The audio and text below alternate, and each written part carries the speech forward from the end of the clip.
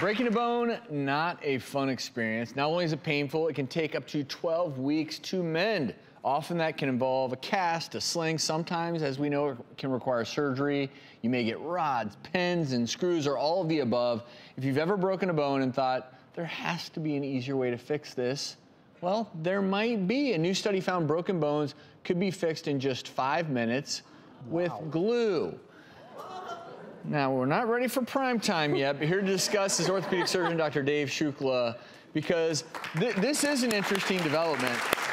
This isn't going to put you out of business, is it, Doc? No, I don't think this one will. And, and this, so, so to clarify, this glue was used in rats, right, for this experiment. But tell us how, how this would work and how it could translate into humans.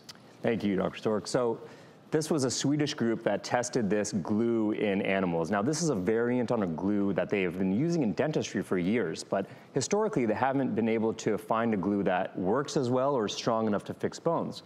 So they created fractures in animals, they laid down the glue, allowed it to seep into the pores, put a fibrous patch on top of it to reinforce that, and then added a few more layers. And then they uh, allowed the glue to dry over five minutes. They then watched the animals for five weeks, and they tried to simulate uh, what physical therapy would be like in a patient. So they bent the bones, they twisted them, they you know, rotated them, that kind of thing. And then at the end of the five weeks, they looked at the bones and the glue under a microscope.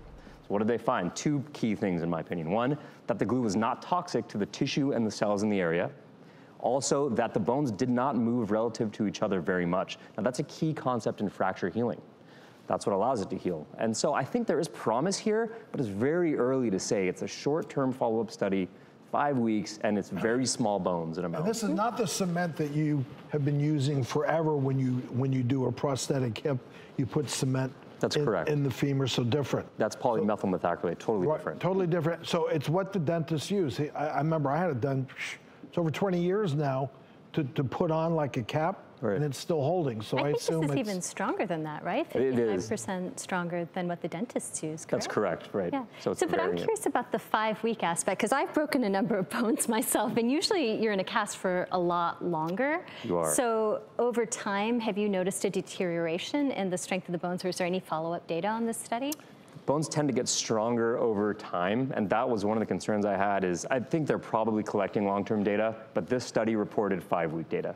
It seems like there could be an application in humans for fractures that, that are not overly displaced and are pretty stable. Mm-hmm. I- It doesn't sound like this is going to be the treatment for mm-hmm. unstable fracture, where right now, if you're putting a big rod in there, I, I tend to struggle with the thought that just a little bit of glue is going to hold a massive, you know, unstable femur, femur fracture or something like that. But who knows? Maybe you have someone with a hairline fracture or they have osteoporosis and they may just need a little bit of help to maybe prevent a fracture from getting worse or preventing a fracture in the first place. Is there any place for something like this in, in someone who has weakened bones to begin yeah, with, like an for a application? for a stress fracture, for example. yeah. Right. Well, in those kind of scenarios, you may not do surgery at all.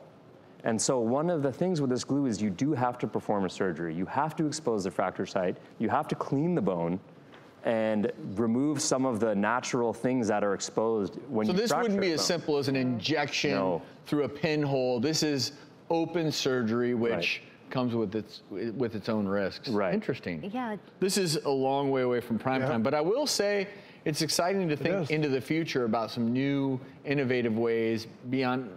I'll be honest. Most Doc, people aren't Your excited to job security sounds to me Yeah, I think so. like it's But- but okay for the moment. Bones will still break. Bones will still And break, but I think it's always need to be done. interesting and exciting to hear about these new developments. Thank you. Yes.